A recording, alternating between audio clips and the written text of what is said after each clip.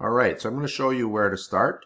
So at the uh, once you've gone into the metahumans.unrealengine.com website, uh, please make sure that you are logged in, and it won't work unless you have an Epic Games account. So whenever you click on it, uh, it'll ask you to create one. So as a teacher or with your your class, you should definitely set that up ahead of time. And once that's done, then you can start with this step. So we're going to click on the Create MetaHuman. And the first step is to try to find uh, a model that kind of looks like your model. And in our case, we're trying to do ourselves. And so as you can see, this is me down here. So I'm going to try to go with something that kind of looks like that. And none of them will be close. So uh, let's just scroll down here. It's being a little fussy. Oh, there it is. Um, okay, so let's see.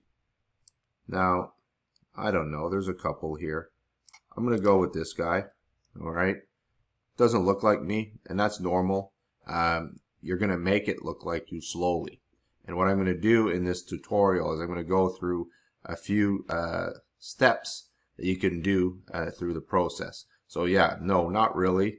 Uh, even the face structure is not me. So I could pick another person. Let's go with this person. His face structure, if I look here, looks a little bit more like me. Yeah, he has way more hair, kind of jealous. And he doesn't have, a, you know, a mustache and so on. But I'm going to go with that and we'll adapt as we go. So I'm going to go next.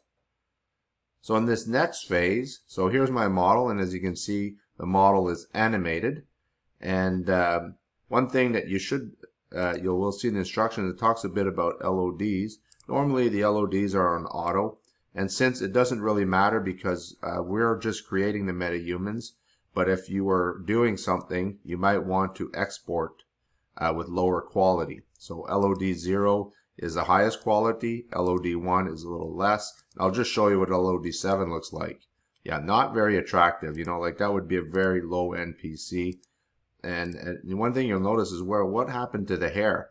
Well, hair is actually the heaviest thing on the processor. So you see, even at LOD2, this model doesn't actually have hair. His hair is so advanced that it doesn't really uh, it wouldn't go into the game. So there's ways to do that, but for now we're just going to leave it at auto LOD. Okay. So uh, now what I'm going to do is click on the blend space, and what I'm going to do is go find three other models that kind of have things that look like me, and I'm going to drag them in like this fella kind of looks like me. Uh, so I'm going to drag him in. Uh, I'm going to go with this one. And what you're looking really for now is face structure. Okay and you know it doesn't have to be perfect.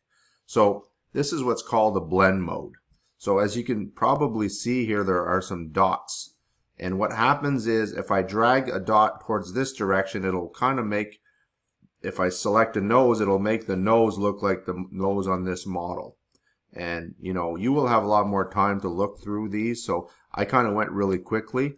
And that's going to be like that throughout the tutorial so one of the things I also want to do is using my uh, right mouse button is click around and for now I'm not going to get too fancy because there's these other two tools, the move and sculpt will be a little more refined. So I'm just going to go with some general outlines. I'm going to see um, forehead here. I'm going to drag it down because I definitely have more forehead than this guy. Uh, my ears are a little bit more in. So let's click on the ears um, and let's see what I get here. No, no. Well, probably this guy has the closest ears to me. So for now, I'm going to just stop there. Um, now, we definitely want maybe the lips. Let's try this fella's lips over here. As I look at my lips, hmm, See, and, and one of the things that I should you should be doing is looking at the your mood board that you created. So this is my headshot. So I took uh, front, three quarter, and side. So this is what I won't go back and forth a lot because throughout the tutorial, my goal is just to get you to, uh, you know, slowly learn the tools and, uh, you know, try something, go back, look, uh, kind of looks like it, doesn't look like it, and, and kind of go back and forth. And, you know, this is not a perfect tool, but it is a very great way to get a pretty cool looking model. And so for the blend space, that's really how it goes. So I'm going to stop the video there. If you have any questions, please let me know. And in the next video, we're going to talk about both move and sculpt. All right. Thank you very much.